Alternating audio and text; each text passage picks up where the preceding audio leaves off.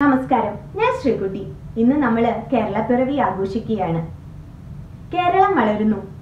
പശ്ചിമഘട്ടങ്ങളെ കേറിയും കിടന്നു.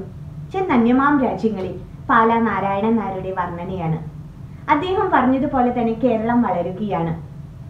ഇന്ത്യയിലെ ഏറ്റവും ഉയർന്ന സാക്ഷരതയുള്ള സംസ്ഥാനം. അതുപോലെ തന്നെ ആരോഗ്യ രംഗത്തും വിദ്യാഭ്യാസ രംഗത്തും ക്രമസമാധാനം ലിംഗസമത്വം സാമൂഹ്യനീതി എന്നീ നിലകളിലും ഒരു പടി ഉയരത്തിൽ തന്നെയാണ് നമ്മുടെ ഈ കൊച്ചു സ്വാതന്ത്ര്യത്തിന് ശേഷം സംസ്ഥാനങ്ങളെ ഭാഷാടിസ്ഥാനത്തിൽ തരംതിരിച്ചപ്പോൾ സുന്ദരമായ ഭൂപ്രകൃതിയും സാംസ്കാരിക പൈതൃകവും മതമൈത്രിയുമുള്ള ദൈവത്തിന്റെ സ്വന്തം നാടായ നമ്മുടെ കൊച്ചു കേരളം ആയിരത്തി തൊള്ളായിരത്തി അമ്പത്തി ആറ് നവംബർ ഒന്നിന് പിറവി കൊണ്ടു.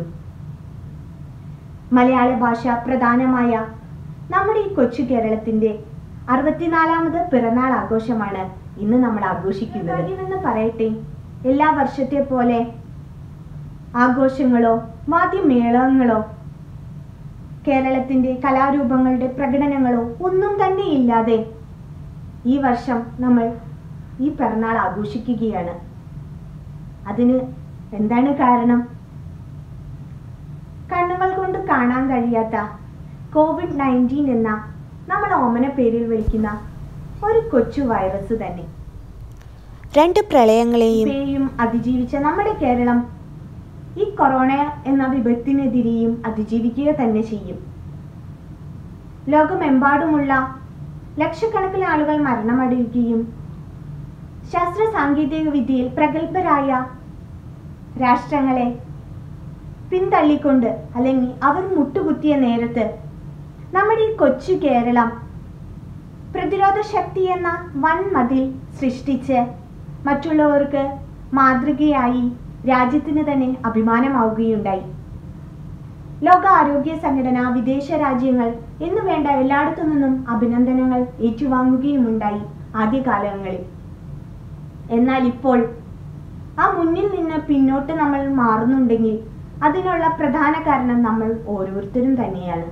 നമ്മുടെ ഒരു അശ്രദ്ധക്കുറവ് തന്നെയാണെന്ന് പറയേണ്ടത് എല്ലാവരും ആഘോഷങ്ങളും ആരവങ്ങളും എന്നു വേണ്ട യാത്രകളും ഒഴിവാക്കാൻ പറ്റുന്ന എല്ലാം തന്നെ ഒന്ന് ഒഴിവാക്കി. ഗവൺമെന്റും ആരോഗ്യ പ്രവർത്തകരും പറയുന്ന മാനദണ്ഡങ്ങളെല്ലാം പാലിച്ച് നല്ലൊരു നാളേക്ക് നമുക്ക് നവകേരളത്തെ ഉയർത്തിയെടുക്കാൻ ഈ വേളയിൽ നമുക്ക് ശ്രമിക്കാം. ലോക രാജ്യങ്ങളിൽ നമ്മുടെ കൊച്ചു കേരളത്തിന് സൽകീർത്തി മുഴുകുവാനായിട്ട് നമ്മൾ ഓരോരുത്തരും നമ്മുടെ കടമ നിറവേറ്റേണ്ടതുണ്ട്. നമ്മൾ ഒരാളുടെ കഥ കൊണ്ട് ഒട്ടനവധി പേർക്ക് ദുരന്തമുണ്ടാക്കരുതെന്ന് പ്രതിജ്ഞ ചെയ്തുകൊണ്ട് ഈ വർഷത്തെ കേരളപ്പിറവി നമുക്ക് ആഘോഷിക്കാം. നല്ലൊരു നാളേക്ക് അധിക ദൂരം ഉണ്ടാകരുതെന്ന് പ്രാർത്ഥിച്ചുകൊണ്ട് ദൈവത്തിന്റെ സ്വന്തം നാടായ കേരളത്തിന് പിറന്നാൾ ആശംസകൾ. ഒപ്പം നവകേരളം സ്വപ്നം കാണുന്ന നമ്മൾ ഓരോ മലയാളികൾക്കും ആശംസകൾ. നന്ദി.